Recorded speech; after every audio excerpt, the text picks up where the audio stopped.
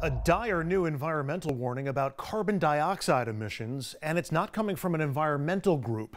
It's from the International Energy Agency, an independent group formed in the 1970s to keep the world's supply of oil flowing. And it now advises world governments on energy policy. Their report says governments must act now to cut CO2 emissions, and that globally those emissions must be net zero by 2050 to stave off a dangerous and potentially catastrophic global temperature increase. And they're calling for dramatic action, including a phase out of all gas powered cars and trucks, an end to new approvals for coal fired power plants, and no more new oil or gas fields. As you might expect, all of those proposals will face staunch political opposition, but before it all gets bogged down in politics, we wanted to dig deeper into the science and the environmental reasoning behind it. For that, we turn to Chip Comins. Chip is a renewable energy and clean technology expert. He's also chairman and CEO of the American Renewable Energy Institute. Chip, let's start with the worst case scenario and work backwards. The IEA says the world needs to be net zero on carbon dioxide emissions by 2050 or else. What's the or else?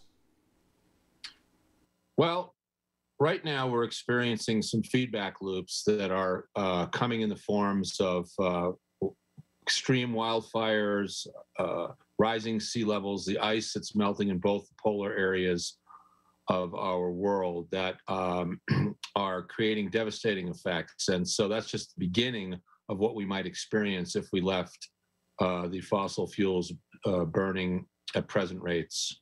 So, so what does being net zero on CO2 emissions mean? We can't get rid of everything that emits carbon dioxide because that includes humans and animals. What we're talking about here is the uh, the burning of fossil fuels primarily, and um, that's carbon's not the only greenhouse gas exacerbating the problem. There's also the methane coming from how we raise, you know, for instance, the cattle.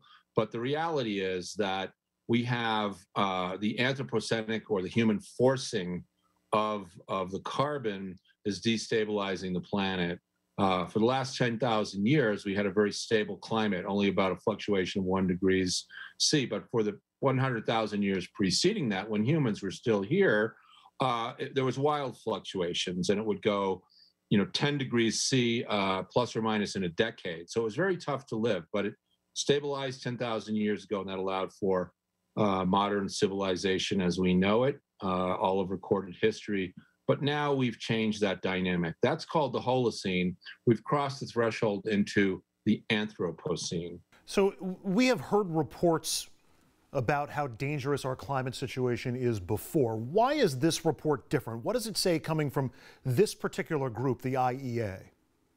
The IEA, the uh, International uh, Energy Agency, is a is a very uh, a solid group, not uh, liberal or conservative, but rather just right on the issue of energy. And the fact that they're concerned uh, and, and releasing this report means that we have literally a window of about five to seven years right now to remain within uh, the remaining carbon budget of about 300 billion tons. We're presently burning about 40 billion tons per year. And since the Industrial Revolution, we've put up approximately uh, two and a half trillion tons. And so uh, it's it's deeply concerning when the IEA comes out with a report that suggests that we must cease all oil and gas exploration, and we have to also uh, shut down all development of new coal plants and actually uh, systematically shut down the ones that are now existing and transition over to renewable energy. The good news is is that we have enough time to do this. Uh, the the, uh, the impetus is to act.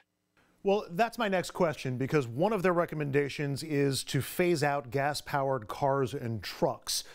But we're nowhere close to 100% electric vehicles. There's 2 million of them out of 287 million total vehicles just in the U.S.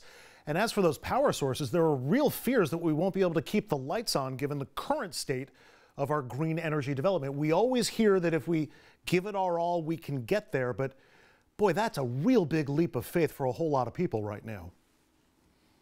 That's true. And, and the reality is that uh, we have to keep the lights on. We need to have uh, uh, cold beer and hot showers, uh, to quote Amory Lovins, my good friend from the Rocky Mountain Institute. But the reality is that we also have the ability to make the transition in a way that's going to uh, raise the standards for living for everybody and add, I believe, tens of thousands, if not uh, hundreds and even millions of new jobs uh, fixing the problem. Uh, as my good friend over at the Department of Energy, Jigar Shah, has said in his book, Creating Climate Wealth, this is the greatest wealth creation opportunity that will ever pre- uh, present to modern man.